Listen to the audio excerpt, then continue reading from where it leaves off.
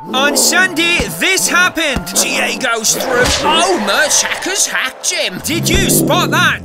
Mertesacker appears to be looking the other way. So the Premier League Conspiracy Files asks, what distracted Per Mert We do what we want, theory. GA goes through. Oh, Mert Hacker's hacked him. I am Chelsea. I'll do what I want. The letter writer theory. GA goes through. Oh, Mertesacker's hacked him. Diego, do you mind giving me a nice reference for this job application? Most referees have a campaign against me. The curing the lame theory. GA goes through. Oh, Mertesacker's hacked. Jesus Samaras. Walk, my son. I've been healed.